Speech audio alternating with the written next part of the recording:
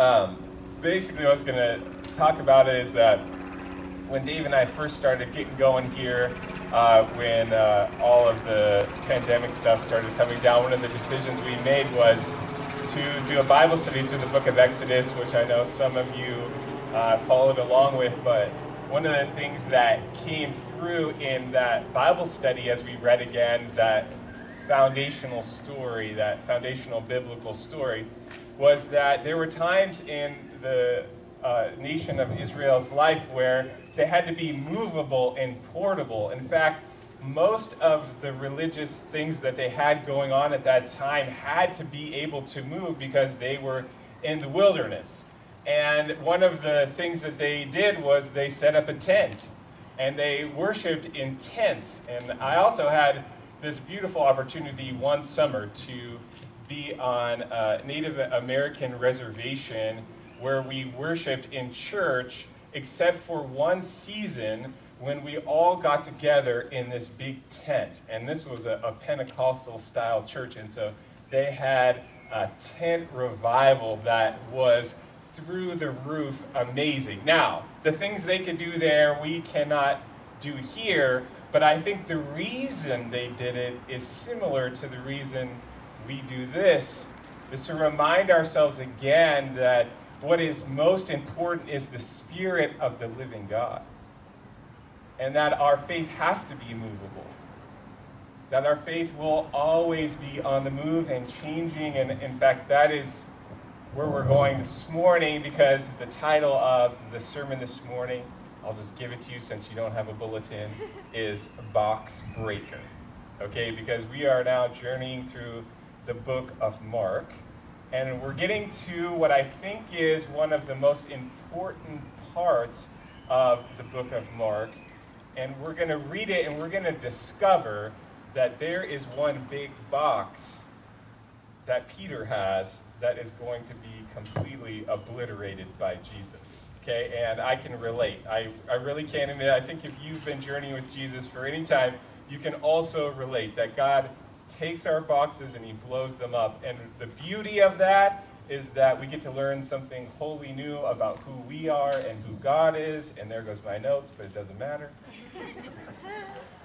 and also, the difficulty of that is that we have to allow for who God is to change us and to grow us and to move us. And anytime we change or grow or move, it's difficult. And so we sit in the in between in those growth moments. You know, I think some of us at the beginning of this whole thing thought, yeah, I can grow a little.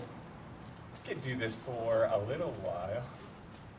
I can learn a few lessons. It would be novel if we could just have this for just a little bit and remember that time when that crazy thing happened. But what we're finding out is that this is going to be a long growth season for us. So coming to terms with that, I think we need to look to the scriptures to see how do we have this long distance type faith that allows for us to learn and grow in every season of our life and every struggle of our life when things are good, when things are bad. How do we know how to follow Jesus? And so I'm going to pray and we'll read the gospel story today. We'll go from there. So will you pray with me? Lord Jesus, I thank you for today. Lord, I thank you for so many people that have put themselves uh, at work to bring this worship service to fruition, Lord, in this way. We thank you for the technology that's made possible. We thank you for the tents and for all the effort of the church, for all the effort and decision making of the deacons and the elders. And Lord, we just pray your shalom, your peace to wash over us now, Lord, that we would uh, experience you and know you, Lord, and to know that this is your world. And, and so we just come to you and point our hearts to you, Lord, and we say, God, would you show us the way? Would you teach through your word and move in us to comfort us and disturb us and to grow us and to make us your disciples and ultimately to give us abundant life that is only possible through you, Lord Jesus. And so we come to you now and we ask that you would make us good soil, that we would receive your gospel truth this morning. In your precious and holy name we pray. Amen. Now, I don't know how y'all are going to do it, but I'm going to read from the Bible. If you got one, fine. If you want to listen along, fine. If you got something at home, great. We're going to be in Mark chapter 8. I want to start at verse 27. I'm going to read all the way to verse 38. And so here, here are these words from the Gospel of Mark. It says this. Jesus and his disciples went on to the villages around Caesarea Philippi. On the way, he asked them, Who do people say that I am? They replied, Some say John the Baptist, others Elijah, and still others one of the prophets. But what about you? He asked. Who do you say that I am? Peter answered, You are the Messiah. Jesus warned them not to tell anyone about him. He then began to teach them that the Son of Man must suffer many things and be rejected by the elders, the chief priests, and the teachers of the law, and that he must be killed and after three days rise again. He spoke plainly about this, and Peter took him aside and began to rebuke him. But when Jesus turned and looked at his disciples, he rebuked Peter. Get behind me, Satan, he said.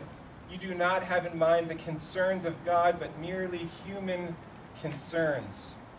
Then he called the crowd to him along with his disciples and said, Whoever wants to be my disciple must deny himself and take up their cross and follow me.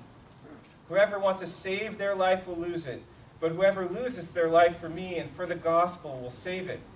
What good is it for someone to gain the whole world yet forfeit their soul? Or what can anyone give in exchange for their soul? If anyone is ashamed of me and my words in this adulterous and sinful generation, the Son of Man will be ashamed of them when he comes in his Father's glory with the holy angels. A few things I want to point out in our gospel picture today. The first is I hope you caught the great moment that Peter had at the beginning of this story. And one of the details that's important in the beginning of the story is it says that they were on their way to Caesarea Philippi. Caesarea Philippi was a place that was known for its pagan idols and the many ways that pagan idols had been worshipped for years and years and years in Caesarea Philippi began with Baal a long, long, long time ago, and then from there, there was a worship of the god Pan, and in fact, if you go to certain places in Caesarea Philippi today, you can see niches in the rocks where idols would have been placed, where the god Pan would have been worshipped, and then after that, when Caesar came then Augustus was worshipped in Caesarea Philippi, and so they had what's known as Caesar worship going on in Caesarea Philippi. And so when it, where this conversation matters because it's a conversation about who Jesus is.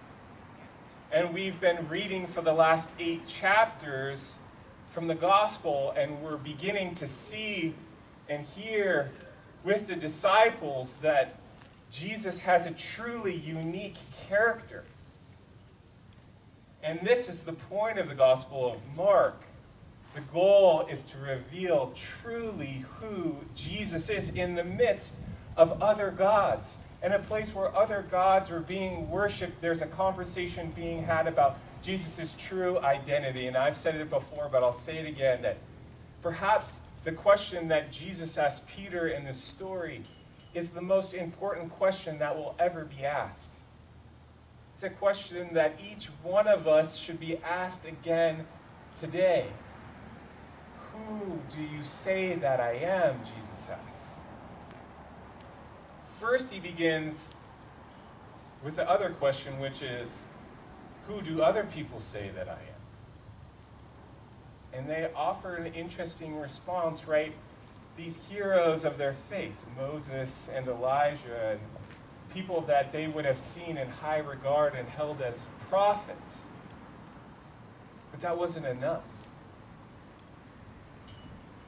Now, the people that were in the crowd probably held these theories, and so there's a discussion about these theories because they're working it out. They're learning, they're growing, they're asking questions and responding and trying to figure out again and again and again who really are we with? And then Jesus asks Peter the question. And Peter, my namesake, finally, finally, he gets it right, right? We see this moment where he soars to the heavens and answers the question in the only way that God could have given him. He says, You are the Messiah. You are the saving one, the one that was predicted by the Old Testament prophets and has now come to fruition before us, in our midst. And can you imagine the moment that, what that would have felt like for them? I don't know if any of you are Hamilton fans and have been, have been watching Hamilton out there, but this is a historical moment. What I love about that, that play is how often they invite their audience to think about the historical moment. We're living in a historical moment right now. Peter was in the midst of a historical moment. He was in the midst of a moment where God had come to earth and is now dwelling with his people. And not only that, but he's picking Peter as his right hand man. And Peter, speaking for the disciples, finally gets it right for once.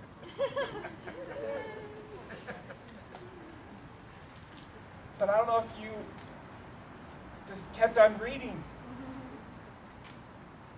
But right after he gets it completely right, and we learn from Peter the true character of who Jesus Christ is, is the Messiah, Savior of the old world, the one, only one who can save the world in the next breath, he is in a conversation with Jesus where he's taking him to the side and saying, Jesus, it's time for your rebuke. You get a tongue lashing. Remember how I said you were the Messiah? Well, now you're already misbehaving, and I need to correct your behavior. What changed in the story? Well, there was a box See, there was a box about who the Messiah would be that came from the tradition and had grown over time. And the belief really was that this wasn't about suffering, that the Messiah wasn't going to suffer. What the Messiah was supposed to do was to go and vanquish and conquer and take over the kingdoms of this world. And in that time, that meant leading a military coup against the Roman Empire. That's what the Messiah would do. That's how we would really be saved, would be if we can get this boot off of our neck from this empire and we can be the ones in charge. And then finally, we can take care of our people and get what we deserve. And can you blame them? They were oppressed for generation and generation and generation. And Peter decides, you know how I said you were the Messiah? This is the next logical step that the Messiah should take, and that's the box that Jesus needed to break. And to teach a whole new way of being. He goes from being on top to being all the way at the bottom. He represents for us humanity where in one moment we can have moments of soaring insight and beauty and do incredible things, and in the next moment we can be down in the depths, hurting and betraying one another. We live with this dichotomy within our hearts. The difficult truth that not one of us is spared from sin. And the beautiful gospel truth that we can also access what Abraham Lincoln once called the angels of our better natures. And that we can live into a better way in the world, but what it will take is for us to examine all of our boxes and to say, what have I put in this box that was from me and not from God? And am I allowed to give that over to Jesus so he can go kaboom? And to see what can happen if we'd be willing for him to blow up our boxes for something so much better. I remember a few months back now, sitting at a meeting with the church leadership, and we were discussing this one church in Seattle that had to shut down their church services because there was this weird thing called COVID 19 that was coming. And I remember thinking about the pastor of that church for one moment and thinking, man, that guy's life must be terrible.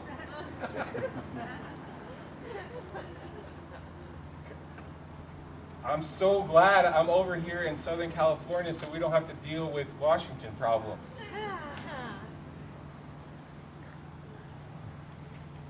But then the next following weeks, we discovered that our box was going to be blown up. And that we were going to have to find a new way to worship, a new way to relate to one another and to God. And to say it was never attached to these things we thought it was attached to. For me, part of that was what we get to come back to today is to look into your faces because preachers, preachers need an audience, man. Why do you think I got into this game? Look how much work we put in just so I could see your faces. This is a moment for me, man. I hope you like it. But at the end of the day, those are just crutches, right? Those are just the things that we thought we needed. But Jesus speaks to us about a whole new way of being. And the reason why Peter is called Satan in this story is because he is tempting Jesus in the same way that Satan tempted Jesus in the wilderness. I want to read you that little bit of the story as well. This is from Matthew chapter 4. This is just one of the temptations. Says this Jesus answered him, It is also written, Do not put the Lord God to the test. Again, the devil took him to a very high mountain and showed him all the kingdoms of the world and all of their splendor. And he said, All this I will give to you if you will bow down and worship me. And Jesus said to him, Away from me, Satan, for it is written, Worship the Lord your God and serve him only. Peter wanted the same thing. He wanted the kingdoms of this world. He wanted to ride Jesus' coattails to the top of the kingdoms of this world. And so when the Messiah came and said, No, I am truly, as Isaiah predicted, the suffering servant of the world, and in fact, I'm not going up, I'm going down.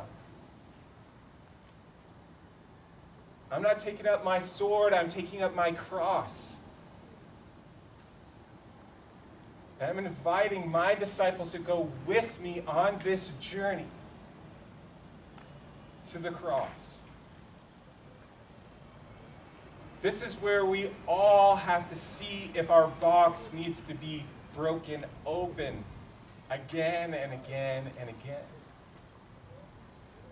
Because Jesus was not after the kingdoms of this world, and it is our temptation to go after the kingdoms of this world, just like Peter wanted, and we can understand the logic. We might judge him now in retrospect, but we feel the feelings that Peter must have felt in that moment if we're being honest. But Jesus is teaching. He's saying, let's develop a learning community where we can make big mistakes like this, like Peter's going to make a lot of mistakes, and yet he isn't kicked out. He's Satan, he's tempting Jesus to not go to the cross, but Jesus doesn't say, now you're out of the community, you got to go.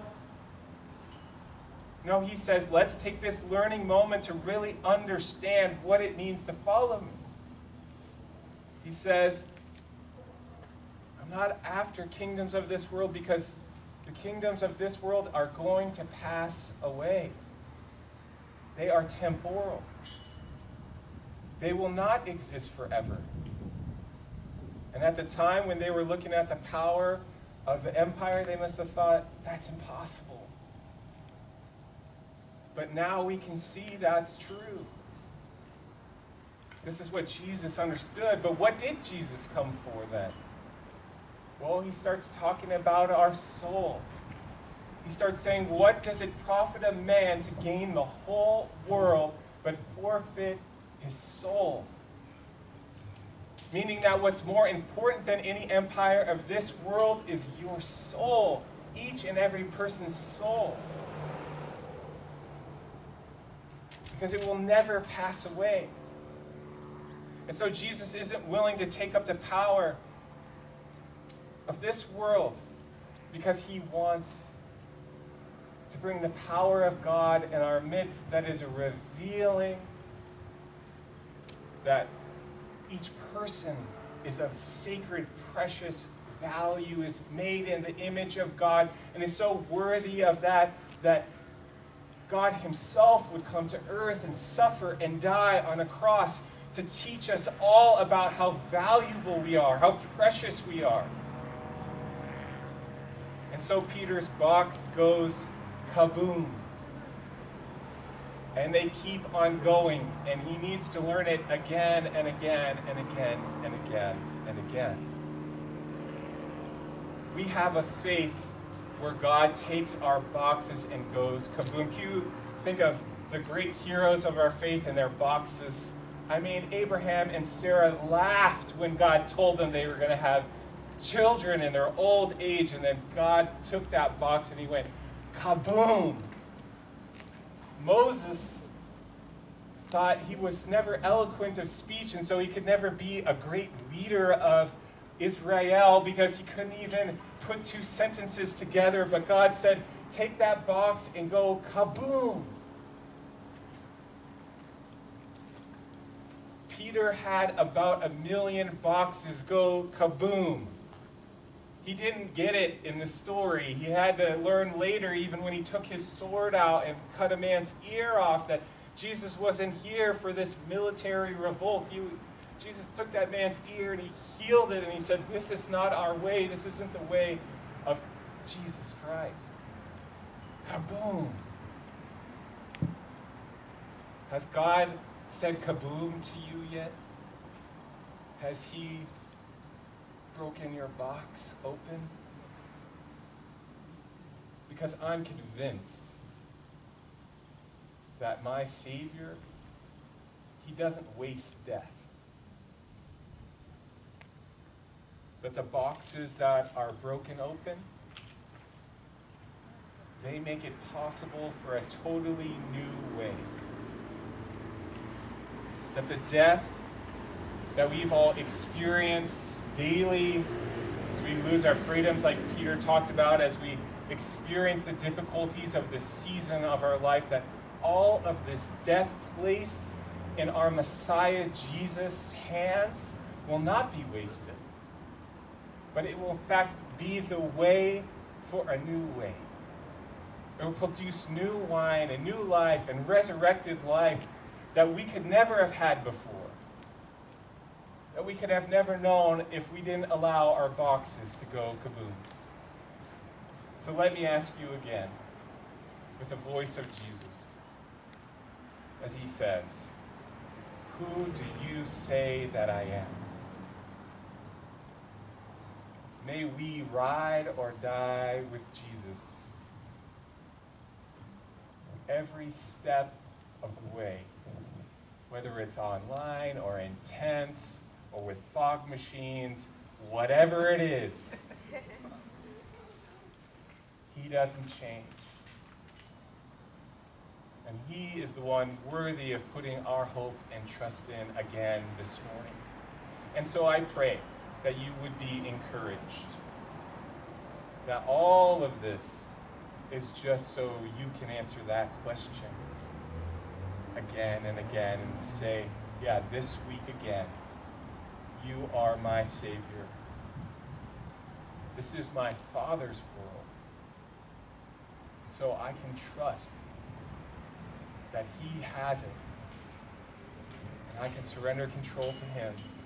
Say, Lord Jesus, I don't know, but you do. And I know who you are, so I can trust Him. Let us pray together. Lord God,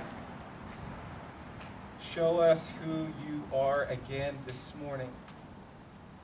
Lord, it's hard to grow. It's hard to be pruned. It's hard to, again, realize the way that we fall short. But, Lord, we acknowledge that we live with sin. We live with brokenness. And we come to learn and grow and to know more of your grace, to feel your grace upon our lack, to feel your grace upon our frustration, to feel your grace upon the ways we've fallen short with one another, Lord. And to understand, Lord, that you are a good God. You are the God who takes care of it all. And Lord, as your disciple this morning, I want to say again, I don't understand it all but if you're telling me it means I take up my cross, Lord, then I stand in faithfulness with you, knowing that you are the only way. And you know how to bring shalom into the earth. And so we pray, Lord, that you would guide us and call us in that next step. In your precious and holy name we pray, Lord Jesus. Amen.